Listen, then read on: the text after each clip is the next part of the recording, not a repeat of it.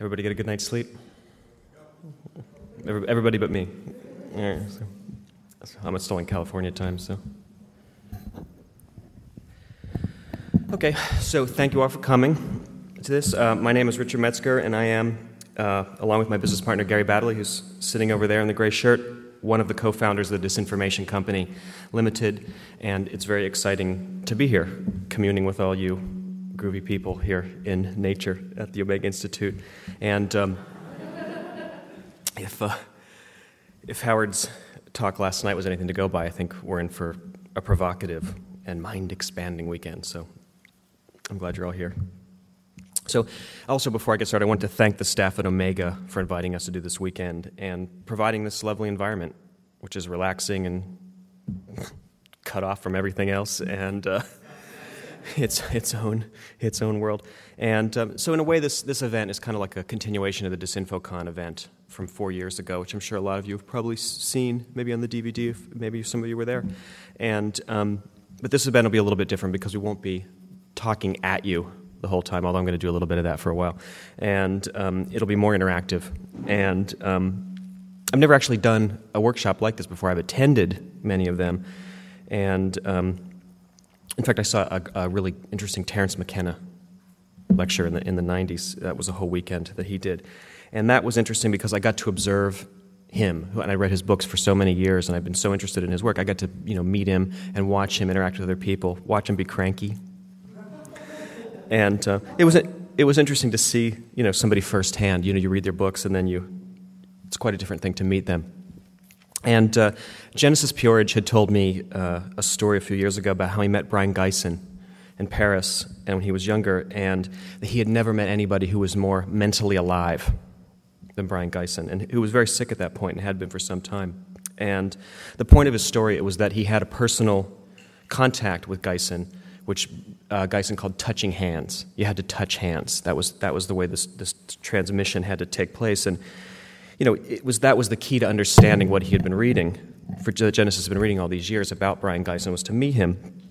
But he also saw a frail human side, and um, that too was very educational for him. So w- it was funny because when I was 17, I uh, basically I got kicked out of high school. I sort of ran away from home and went to London to live for a couple years. And one of the reasons that I went was to meet Genesis and to check out his scene because I um, I figured that he knew something that I didn't know. And I wanted to know what he knew. So I went and bugged him about it. And um, it's, it's gratifying now that, that I can count him as a, as a good friend of mine. So, um, and you can also imagine how nice it is to be here with Doug, with Grant, with Paul, with Howard, and for all of us to be able to get together because we don't see each other all that often because we all live in uh, different cities. And in case of Grant, lives in, in Scotland, so he's in another continent. So it's great. And um, so, first and foremost, I want to, I hope that you are all going to get your money's worth because I know this is an expensive proposition for many of you. And so, by touching hands, as Brion Gysin put it, so um, that's one way. And so, we're here this weekend to be at your disposal. So, if you have any questions, you know, introduce yourselves and feel free to ask questions and help us to help you, in other words, and um, to get your money's worth. So, um, but before I leave this notion of, of meeting people whose writing or their life or whatever serves as some kind of example or as an inspiration for people, um, I've been lucky to meet a lot of my heroes Timothy Leary, Robert Anton Wilson, Kenneth Anger, Andy Warhol, William Burroughs, Terence McKenna. And I've also had the good fortune to meet and work with some artists whose work I admire, like Marilyn Manson, Jello Biafra, Yasuharu Konishi from the Pizzicato Five, um, pop group from Japan. And it's fascinating to see how these people work and what influences they bring to their work as artists. And it's also fun to see what kind of shit they have around their house and what they have in the fridge. And in Marilyn Manson's case, what he has in his medicine cabinet. so, like I say, it's a, it's a learning experience, but it can also be a learning experience because it's disappointing. And um, there's also, think that finding out that some of your heroes have feet of clay has a value too. And it's, it's funny and it's human you know. And um, I was very excited once to, when the first person to call me at my brand new apartment at that time in LA was Timothy Leary, and I was like, wow, you know, Timothy Leary is calling me. It was. The, it was, a, it, was a, it was the very first person to leave a message on my thing. I'm listening to the message, and he wanted to borrow six grand. That's true. That's true. So, so also, so I just want to reiterate, you know, feel free to ask people questions and, and introduce yourselves. And I know that some of the people here have fairly um, spooky public images, so it's all showbiz. I know them all. They're all pussycats, except for me. So um, let's get started. I want to first give you like a sort of a potted history of um, disinformation and how it came to be and why and what it is and what we do. Media company that's based in New York City and based in Los Angeles, also where I live. And our activities encompass book publishing, live events like this one or the DisinfoCon, our website. We publish DVDs. We did a television program for a couple of years, and we hope we do another one. And since all of our various activities fall under the rubric of disinformation, I figured I should explain exactly what that means or what that means to us. So, disinformation means a mixture of truth and lies. And a mixture of truth and lies used as a, an information smokescreen to confuse and to disorient the public. So, it's a very insidious form of propaganda. And it's a term that's usually associated with the CIA. And the example that I always use when I try to explain this is there's probably about 400 books in the Kennedy assassination, and maybe, maybe a quarter of those books are kind of nutty you know, books, and they were probably funded or published by the CIA in some way, in some kind of front group. And the idea that it was to discredit anybody who would be looking into that sort of thing, you know, JFK assassination. It's like, you know, so it's it, anyone else, a more sober researcher looking into that would be considered a nut job by association. So I think everybody can understand how that works. So the issue is it gets, becomes confused by white noise, and then the public just gets to eat static. And um, that is also how investigative journalism uh, came to be known as conspiracy theory. You know, and I just want to, for the record, I am not a conspiracy theorist. I just play one on TV. So, so when we use the term disinformation, we're trying to reclaim it in an ironic way. And we're telling you in the door that don't necessarily believe what you read in the paper or what you see on TV or, or advertising or the mainstream media, but don't believe us either. So wh- why would you want to believe me? It does, it, it, it, if you see what I'm saying, it doesn't make sense. We're trying to like encourage people to be incredulous, no matter where the information that they get comes from, and to look at it with, with a you know a jaundiced eye, I guess. And um, so the idea, again, the idea is to just encourage skepticism. So every time you pick up a newspaper, watch television, see an advertisement, surf the internet, that you would understand that the, mix, the media is a mixture of truth and of lies, and that's often inaccurate, biased, incomplete, and very often serving the interests of the people who own those media outlets, such as Rupert Murdoch, for instance. Um, we recently published the uh, it was an ant.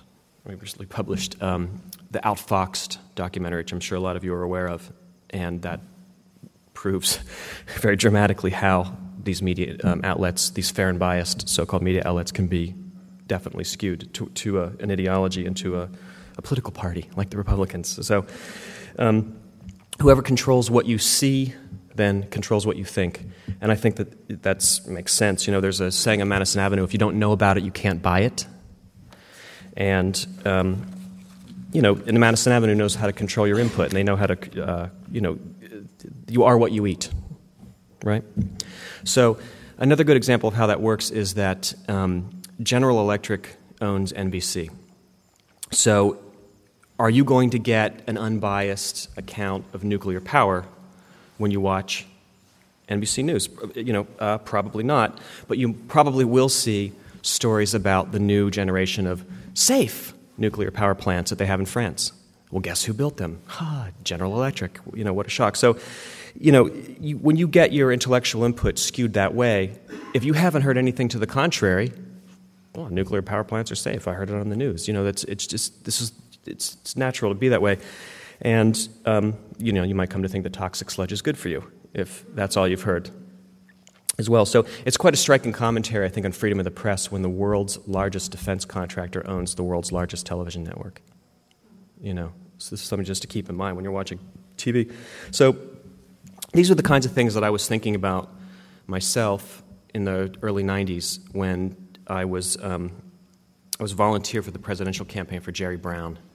And um, for those of you who are too young to know, he was a two term governor of California in the 70s, and um, he was running against Bill Clinton. And he was saying really outrageous, sort of, you know, most outrageous class war kind of rhetoric I'd, I'd ever heard a major politician make. I mean, like, it was, it was just unbelievable. And he's a really good speaker. And people got really fired up about Jerry Brown. And it was really exhilarating to hear somebody speak that way in public and get onto C SPAN and, and CNN and, and say these things. And I didn't think he had a snowball's chance of hell of getting elected president, nor did I think he would necessarily be that great of a president. But it was amazing to hear this, and, and I wanted to support that. So, um, but for a moment there, he actually had placed quite well in some of the primaries, and, and, he actually had kicked Bill Clinton's ass several times. So the media had to start taking him seriously. And what I saw happen in New York City, there were about six people working in an office that was probably that big. And then it grew to there was like about 100 people, and then 200 people, and then a couple of thousand people, probably uh, within the, the two weeks leading up to the New York primary. And, but it was like a real, like, like it was like a movement it was like this grassroots thing that just it formed so quickly and it formed by itself because there was nobody who was in charge it was just like okay you do what you want to do it was i mean literally people would like come in with a position paper that they would have edited together from some interview that they read of him and it would be all printed out and they just put a stack of them down i mean that's how grassroots it was. I mean, there wasn't anybody saying like, "Oh, you can't do this," or it has to come through the official campaign. People were just doing what they wanted to do, and, and, it was in, in, good faith, and that's how that happened. And um, so the, the, people who were working there felt very strongly about his message, and I think it's probably analogous to what, how people got jazzed up for Howard Dean in this current election cycle. Like again, I want to just say it was like this movement, and uh, the Brown for uh, President headquarters was at on 42nd Street back when it was still owned by the hookers and the um, crack dealers, and not the Walt Disney Corporation. So. You know, but every you know every day I would see hundreds of people filing in there. There were like sort of Grateful Dead types, and there were um, uh, union people. A lot of people who were with the hospital union were supporting Brown. Brice Marden, the famous painter, was one of the people who would come in and call people and you know get to get the vote out and so forth. And um, like I say, it was just this outrageous thing that sort of organized itself. And this stood in stark contrast to the Clinton campaign headquarters, where if you went by there, there were two people in a very nice, gleaming office, two yuppies handing, giving you a Clinton bumper sticker, and that's what it was. I mean, it's. I mean, there was a movement there were two people who were being paid on staff. And that's what I saw with my own two eyes. And so I'd go to campaign rallies, and there would be like 5,000 people there getting quite worked up by Jerry Brown's speech. And but then I would, I, and I was like a you know, news junkie, so I'd, I would buy like four newspapers a day in New York. And you know, I would see Broadway and 72nd Street closed down because there were so many people who wanted to speak to him that they, the, the cars couldn't get by. And then I would read about a small and unenthusiastic audience who was there to see Jerry Brown, and um, or that he would be described as a fringe candidate. This is a fringe candidate whose father was a governor of California, who himself was a two-time governor of California, and you know the, the uh, Brown family was like the West Coast Kennedys. His sister was a Secretary of State in California at that time. So you know, this, again, a fringe candidate who kicked Bill Clinton's ass in several of the, the primaries. But this is the way it was being reported on. And it was just very interesting to see how all of the various newspapers in New York, the Daily News, the New York Times, the Post, the Daily News, would report the same event, but from vastly different perspectives. The same event that I would see as an eyewitness to the event would be reported in a way that very contradictory way that you know they say you know tr- truth you know uh, uh, there's two sides to every story and truth is somewhere in the middle and here none of these truths, as it were, reconciled themselves with what I saw. So that was very eye opening for me. And I thought about this for a long time, and I was on unemployment insurance at the time, so I moved to California, and I watched the election all the time. I hardly left the apartment for like six months because I would just flip channels and watch how it was being talked about on CNN and how it was being talked about on the, all the networks, and it was, it was, like I say, it was really fascinating. And I, at that time, also I was taking meetings because I was um, trying to get some TV show ideas off the ground. And one of those things was this idea that I had for like a new generation of 60 Minutes that was called Disinformation. And I would go around and I would pitch this. It was like the idea to you know, present viewpoints that hadn't been, you know, that weren't seen, more liberal, more progressive viewpoints than you would normally see on a 60 Minutes type show. And I would always hear the same thing wow, I would really love to see something like that. It'll never get on the air. And I hear that every meeting, and um, no one will advertise right? And then um, one guy said, "Oh, I'd love to see something like that. Never get in the air, unless you get somebody like Oliver Stone to put his name on it." And I thought that was a great idea, and I went home and I faxed Oliver Stone the idea that day. and his assistant faxed it to him. He was in Thailand working on a film called Heaven and Earth, and he loved the idea. So the next thing I knew, um, I was having this thing sort of godfathered, as, as it were, w- through the Hollywood maze with Oliver Stone as executive producer, and it didn't. Um, it didn't fly then. It was, I think it was too early to do something like this. But a few years later, Oliver and his business partner Janet Yang recommended me for this gig to do a series of CD-ROMs um, at a company that was owned by uh, TCI, which, is the, which was at the time the world's largest cable corporation, and now that's known as AT&T Broadband. Many of you have probably heard of it. And um, that project never happened, but I, I got my foot in the corporate door in that way, and I was able to maneuver it so this old TV idea, this disinformation idea, was reborn as an internet thing. Now, and this is 1995, 94, 95. So this is the time when the executives at TCI did not have email. They were not on the internet. They did not know what it was. When I took the job, I had never been on the internet. I had been on AOL like two times. So nobody really knew what it was. They'd heard about it. It was, it's, it's hard to imagine that now, but like 10 years ago, the internet was a vague concept to a lot of people. The information superhighway, but you heard about it, you weren't on it necessarily. And um, so the, all of these media corporations well, we, have to, we have to get in on this thing. If we don't get in on it now, we're going to be dinosaurs. Remember how that whole thing is going to, New York Times is going to go away because of the internet. Obviously, that didn't happen, of course, but that's what the, the, the, the line of thinking was. So I was able to get in there and sort of fly under the radar, as it were, and get corporate funding for something that they thought, uh, $1.2 million to be exact, between, advertising and staffing. There was no thing, we had to build a search engine from scratch then. It wasn't like you'd go and buy one off the shelf for 40 bucks like you could now. You had to buy these, you know, you had to make these things from scratch. There'd be like a, a programmer getting paid $100,000 to do I know 1.2 seems a lot to, to do a website, but back then you had to really put a lot of effort into these kind of things, and it was advertised to the tune of $300,000. When you got onto the Netscape page originally, there was a choice of like InfoSeek, Lycos, Yahoo, Hotbot, and disinformation because they had paid for this at TCI. And um, so they thought it was some kind of like X Files type thing. That's all they thought it was. And, and, and they would come in and there would be like a meeting and I would come in in a suit and, and I would show them like, oh, and then you click on this, then you click on this, and it's like aliens and, and you know, extraterrestrial life forms. And I would just give them the thing, and I kept saying like it was like, and it'll just be like it'll this will be a thing, and it'll capture the the mind share of the audience, and it'll be like MTV.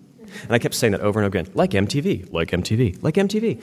And, and, they, and they were just like, okay. And these guys, I mean, again, these guys had never been on the internet, so it looks slick to them. They say, oh, aliens. Oh, and the guy, I remember the guy said, well, this isn't my sort of thing, but I can see why people would like it. And just, just, and just patted me on the head, and he walked on down the hall to the next meeting. And, I just, and it just went like that, and nobody really said, like, I want to see this in depth. And, you know, it was like you could find things about how to cook up crystal meth on the website but I wasn't going to show that to him. Now was I'm not stupid. So, so the um, so the thing launches on on Friday the 13th, uh, uh, September 1996, and um, because of this placement on the Netscape page, it launched to about 16,000 people a day hitting the site, and that is a lot, and that'd be very difficult to do today because there's too many websites. There's a million. Who cares? But back then, again, it's hard to remember this.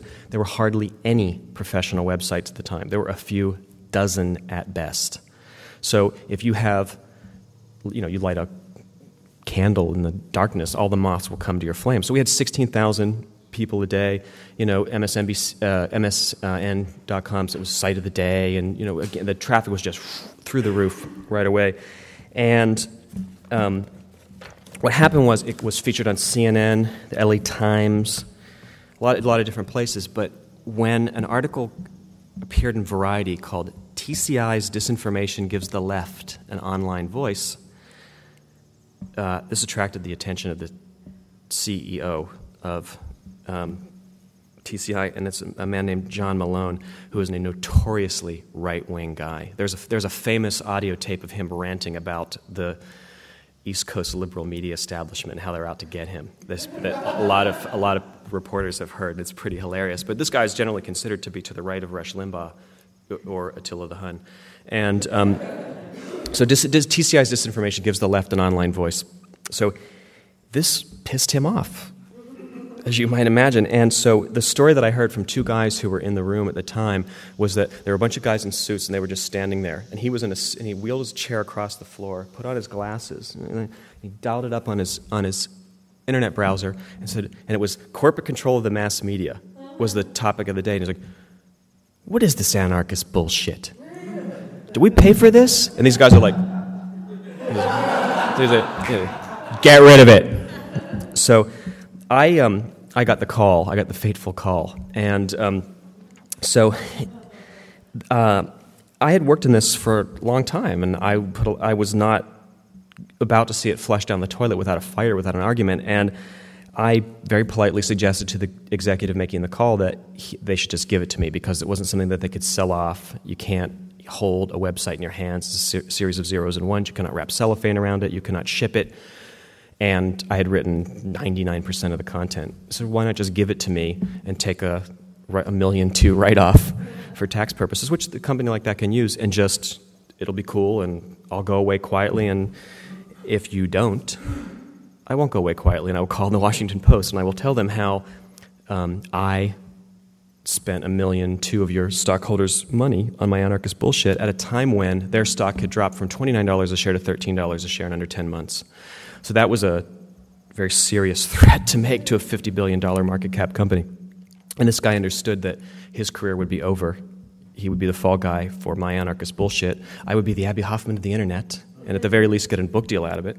And um, they took the hint. You know, I mean, can you just imagine the, the mad scramble of like the news getting, oh, John Maloney, we spent a million point two of your money. You didn't even know what we were spending it on. So that was that was the, the threat was quite was quite a, a, serious one for these guys. So um, I was promptly awarded full ownership of disinformation and, and four months severance pay. And um, so to make a long story short, the, that's that's how it started. I moved back to New York right away. I think I moved back to New York the next day, pretty much. And um, um, and I soon after that hooked up with a company called Razorfish, who was once a very high flying internet design firm. And then Gary and I hooked up about 10 months after that and uh, endeavored to turn disinformation into a real business. And by the way, I am not the person who runs the company. The brains behind the company is sitting over there, and he runs it, and I'm just like the lead singer. So, the mascot, I'm the Mickey Mouse. And we were also able to get another million two out of Razorfish. So the dot com boom was very, very good to us. And, um, you know, all these other dot com companies have gone bust and we're still around. So we've either done something right or we were very fucking lucky. So um, that's the potted history of the company. And like I said, we publish DVDs, we do live events, and um, Outfox is one of our recent things, uncovered the, the whole truth about the war in Iraq was a DVD that we put out. So we've been able to associate ourselves with some great things. We put out Doug's graphic novel recently. And, um, you know, that's, that's it. I would pause for any questions that anybody has right now about what we do at Disinformation. Anyone have anything they want to ask about that? like the business side of things, or yeah.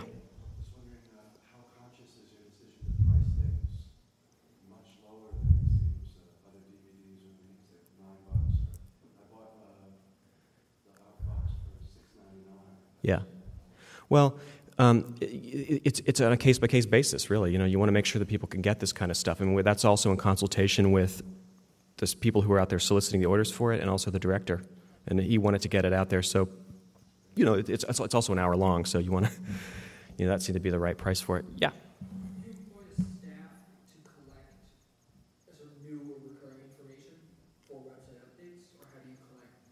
Well, both. There's an editor named Alex Burns who it lives in Australia, and he a lot of it's through Alex, but also people submit stuff, and Gary posts stuff, and Ralph posts stuff. I mean, there's a lot of people who are who are contributing to that. You know, who are just surfing the way they find something weird you know, Robert Anton Wilson has a list that he sends out to about 30 people every day who are his friends, and Alex is on that list. So some of it comes via Bob Wilson in a roundabout way. So, you know, it's, it's like that. Yeah.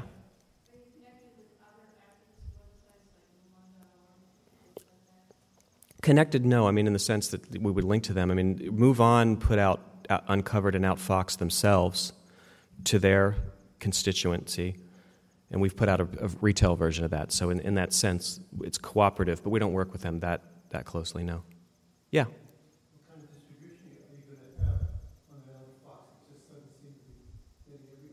It doesn't?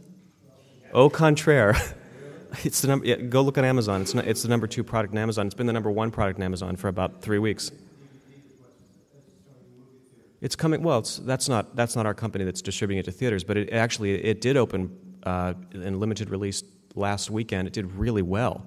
It did seventy eight thousand dollars per theater, which is great for an independent documentary, and it's opening in more cities this weekend. So actually, it's showing you're wrong about that. It's really really getting out there. There's there's probably how many copies of that would you say are out there? We've we've got, put out about sixty thousand. What about Move On? Okay, so about 120,000. I mean, that's a lot. You know, for an independent documentary, it's a lot. Yeah. Well, that's that's com- that's being distributed in theaters by a company called Cinema Libre, and uh, when the at the Republican National Convention, that'll be premiering in New York. so yeah, that ought to be fun. Anybody else before I move on? Okay, so um, in the second part of this lecture, I wanted to discuss the idea of magic and uh, some incredible, incredible imagery as well. So, people have an assumption that magic is about this kind of hocus pocus, eye of newt, tongue of toad thing, or, or it's some kind of incense and affirmations school of thought that a lot of New Agers and Wiccans are into. And I don't see it that way. And um, when I was a teenager, I remember reading in those RE/Search books, which I'm sure a lot of you have read, something that Genesis P-Orridge had said about a modern magician, a modern day sorcerer, would use the tools of their time. They would employ the tools of their time video cameras, fax machines, computers, tape recorders, electronic instruments. You know, you could be a, in a rock band like he was and be a magician, be a sorcerer. And the idea was, and now you would use the internet, right? But the idea was that since you could use these, th- these things to work magic, and magic is so much about intent, then it stands to reason that these things would amplify the signal that you were trying to work on. So, advertising also could be seen in that way as a magical act because it allows these large corporations to create a desire in your head for something, for a product. And you would go out and buy something that you don't necessarily need but you decide that you want. If oh, it's a new kind of soap, and I want to be this clean, or my hair is going to be silky smooth if I use this kind of thing, and and you know that's why you buy one brand versus another brand, and and that is a kind of a magic, right? Um, Aleister Crowley said that the magical way, though, to open a door was to walk across the room, turn the knob, and pull. So and I'm being serious when I say this, if when you go onto the internet, you can make a few simple commands, and a book will appear in the mail a few days later. Okay? Now, that's a magical act, and you don't have to leave your home. And that's, in a sense, it serves to illustrate how computer programming and, um, like, say, following a spell from a medieval grimoire is the sort of the same thing because you it's about putting the effort into the right place. And of course, you could endeavor to constrain a demon to bring you that book, and it might work, but it might also be easier just to go on Amazon and, and get it in that way. So it's, um, there's, there is some kind of, which that's not to say there isn't kind of like a hoodoo element to magic, because of course there is. And when strange synchronicities, coincidences, and things like this start to give you the cosmic wink, then you know you're doing something right. But that's another discussion entirely. So, and we'll get to that in due course. But so Crowley is the guy who coined the term. Uh, magic is actually how he pronounced it. It was the idea that it was the, the art and science of the magi, and it was that the idea was to, to distinguish that from like stage magic, conjuring, sleight of hand, card tricks, you know. And it's also about similar to what Arthur C. Clarke said about any sufficiently advanced technology being indistinguishable from magic. And you'll see a lot of that kind of uh, line of thinking in Paul Laffoley's lecture tonight. And Paul has a very good line, I think, to illustrate this, and it's worth repeating now. He says that if you look at towards science fiction, the gap between coming up with an idea, you know, the R and D phase, and actually uh, manufacturing it, it doesn't exist anymore. And he, the, the example that he uses is um, about the communicators in Star Trek and how they are cell phones that we use today. And um, but I'll let Paul tell you more about that, and of course, time machines when, when his lecture is up tonight. So these things, magic and science, are not mutually exclusive to me, you know.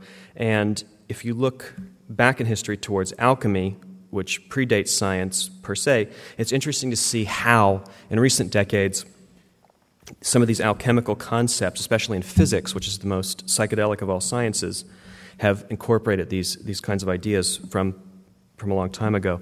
Um, Bell's non locality uh, theorem, the idea that you know, there's always a connection. If you've connected at one point, you know, there's this instantaneous, faster than light connection that exists, is in some ways, in many ways, analogous to like the idea of the law of contagion in magic. We have to have, you know, some a piece of sod that someone has trod on, or a piece of their hair, or something like that. You know, and that's you know these ancient people understood that you have to make that link.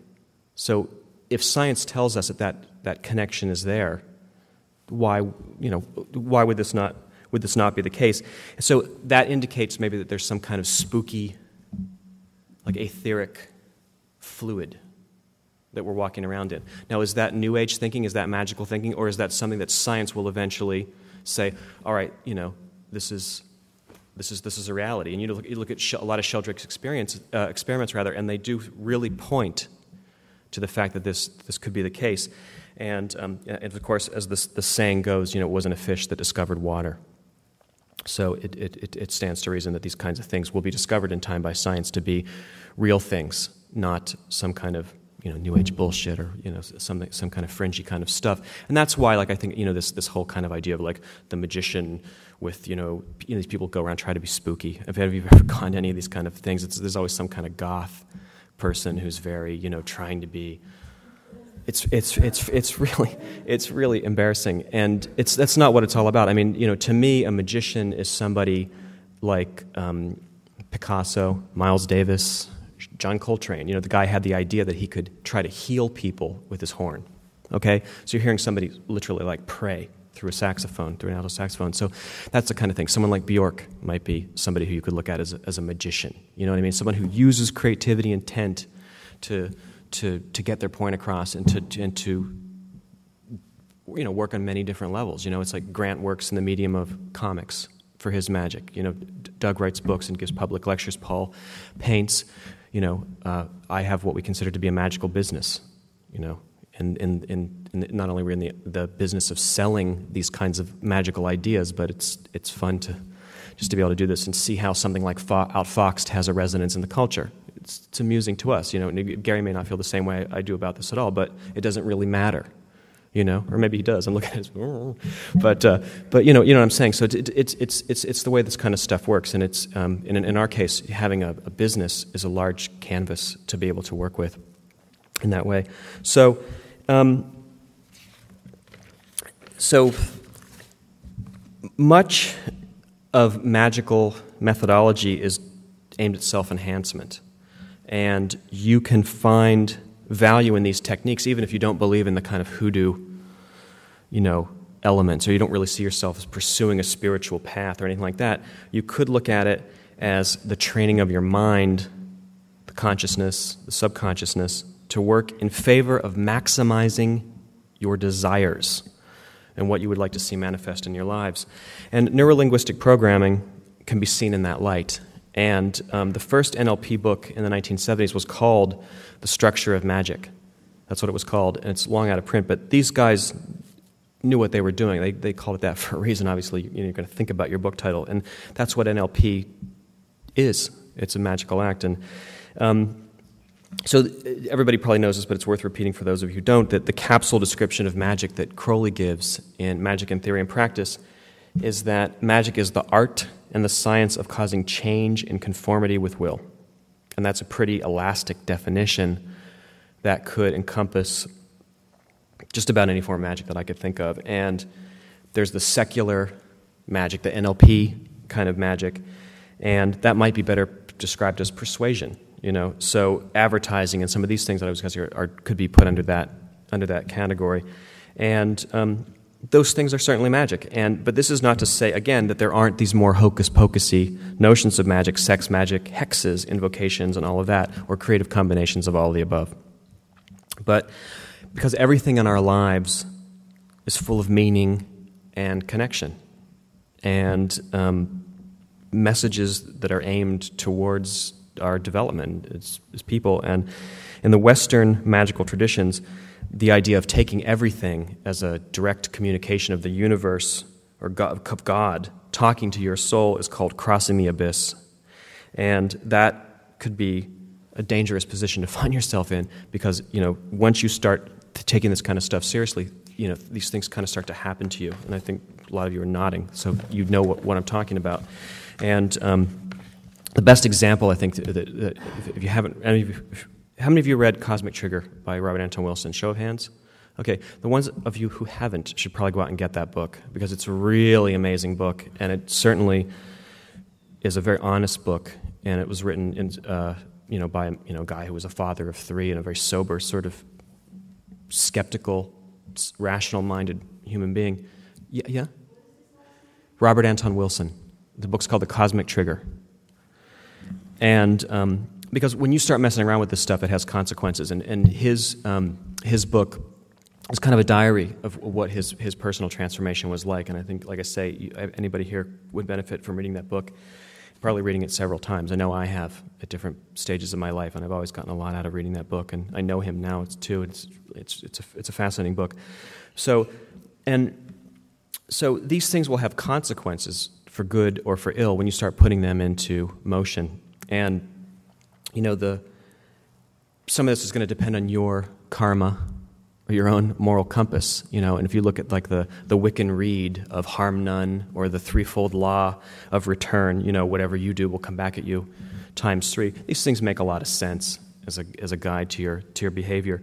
And, um, you know, you shouldn't behave in low down and nasty ways when you use magic because, you know, the idea of, you know, doing a curse or something because as the saying goes, you know, spit in the wind and it's going to come back in your face. So, the idea is that magic is relevant to people who seek personal autonomy and um, to be beyond the control of authorities, institutions, and social pressures. And magic or magic, aside from that notion of you know smiting your enemies and all that low magic, as opposed to the art and science of the magi, is definitely a tool for personal empowerment, like I was saying. And in that respect, I would liken it to learning a martial art. All right. So when you meet somebody who's like a, magical personality, you are encountering someone who has amazing powers of concentration normally, and um, somebody who is has the ability to scratch several itches with one strategic movement, right? And you think on different levels. You know, think it, it's and these are the kind of things that your mind is, then becomes trained to do in the way that you would again train yourself in a, in a martial art, you know, and you know so there's this notion of practicing that has to go into all of this. You can't just read a book and decide that, oh, I'm a magician now and I'm all powerful and mighty. You know, so these are techniques. They're techniques uh, that anybody could do, you know. Um, everybody's nervous system is exactly the same. It's not like somebody is born and they're Doctor Strange and they can go out and sh- you know, shoot shit out of their hands and stuff. But um, I can. but I'm from West Virginia, and we're all like that down there. You just don't know it because we don't we don't advertise it. So, but um, so you know this, like I say, this it trains your mind. You can see past the bullshit. You can see past advertising. You can see past all of these things, and it becomes it's no longer relevant in your life because you can also see how these things can change so quickly.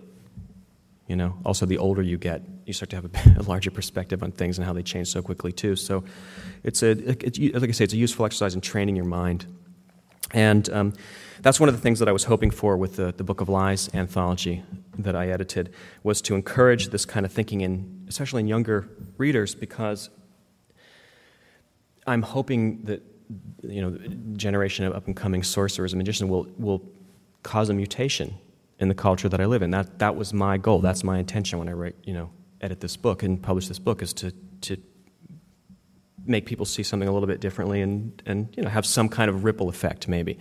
And, um, you know, I thought that the 90s were a really sorry decade. Shitty music, shitty movies. You know, you saw cinema turned into like a marketing drivel. You know, it, just, it just wasn't what it was back in the 70s.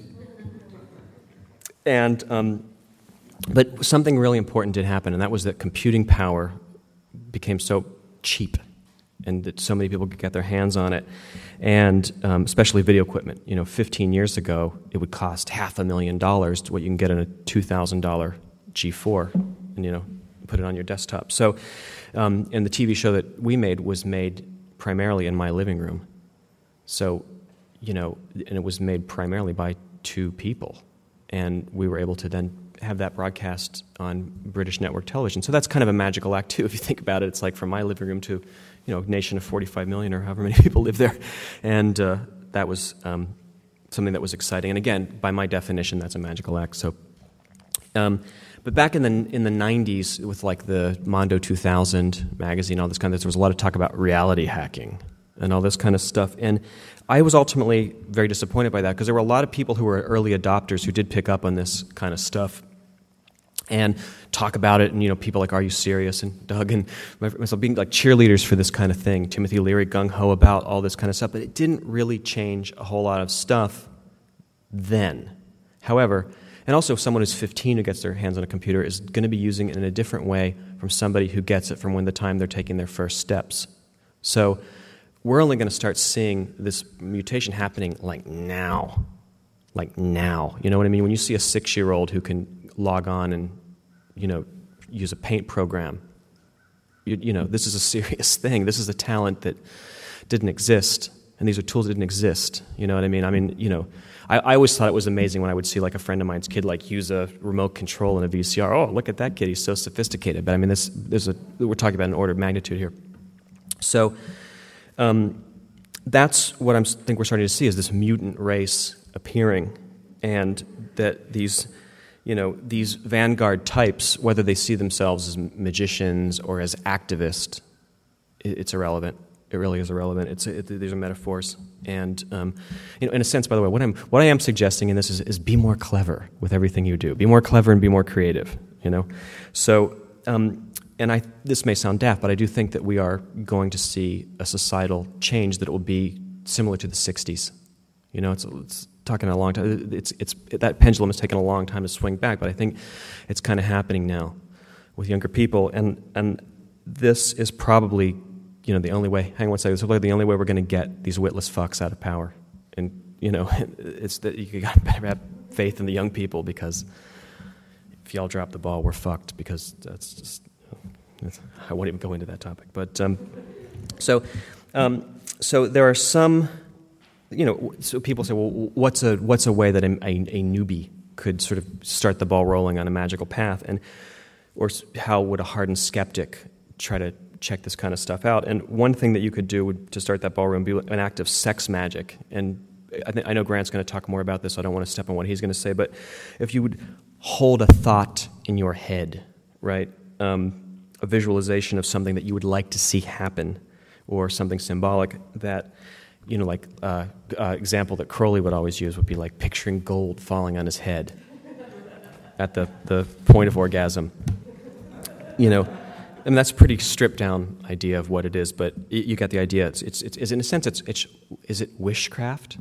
You know, that famous New Age book. Is it wish? Uh, yeah, that's what it is. You can call it anything you want to call it. It's not. There's no real set rules on how to do this.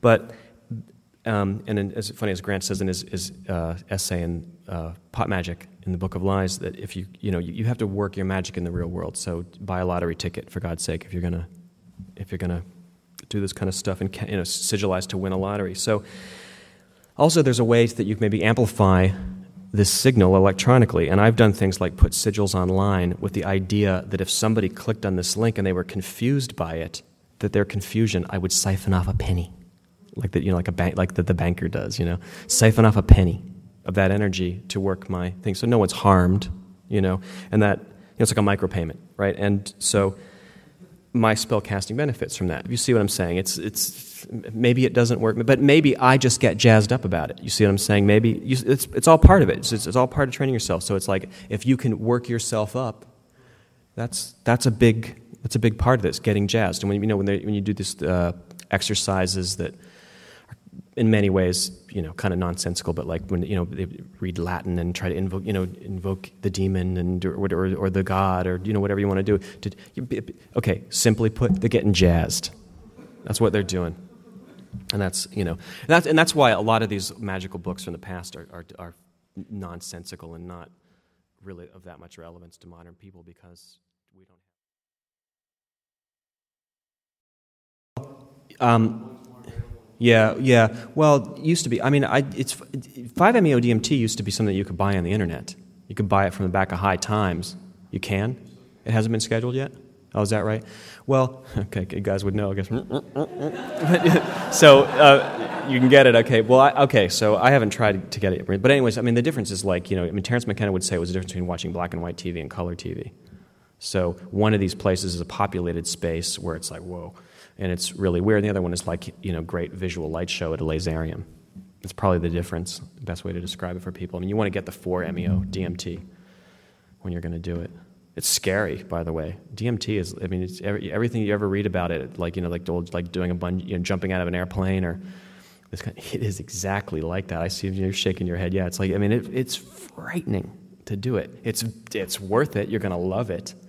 But I mean, you might look at a loaded pipe for about two hours before you decide to huff that because it's fucking frightening. And then, you know, and even if you know you're going to be fine, it's still frightening the next time. You know what I mean? It's, it's a traumatic experience. It's great.